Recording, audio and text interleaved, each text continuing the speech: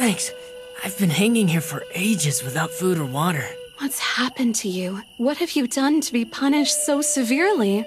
I was punished for, uh, stealing. We're orphans, so we live as we can. I tried to steal food for myself and, uh, my brother.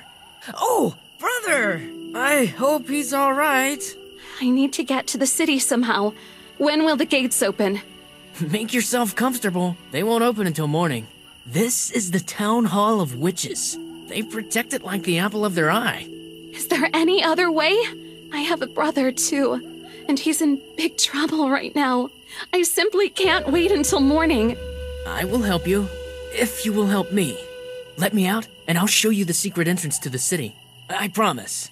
I can't break a lock like that, and the cage is too strong. I'll do it myself. Just find my lockpicks. I left them at the groom. Sometimes he allows me to spend the night in his place. The lockpick I need right now is one of a kind. Here's something for you. It will help you get into the house.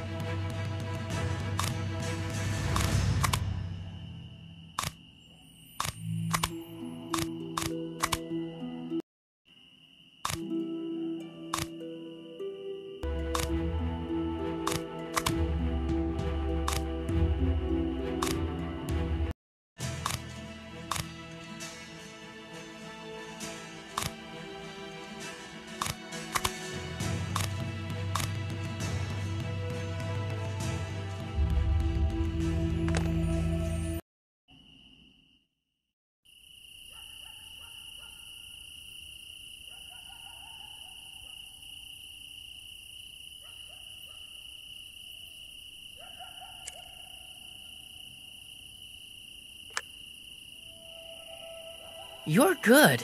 Thank you for helping me. By the way, I'm Elliot. And you? I'm Lucia. Now, show me the entrance to the city and go to your brother. He's probably worried. My brother? Ah! To my brother! Can you see that shack over there? There's a secret passageway. It passes under the castle wall. You will enter the city in one of the lanes, so no one will notice. I have to go now. Good luck to you and your brother. Thanks.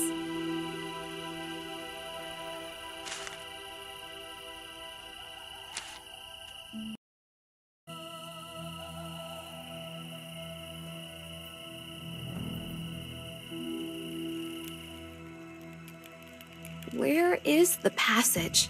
Maybe I need to open it somehow? I need to look around here.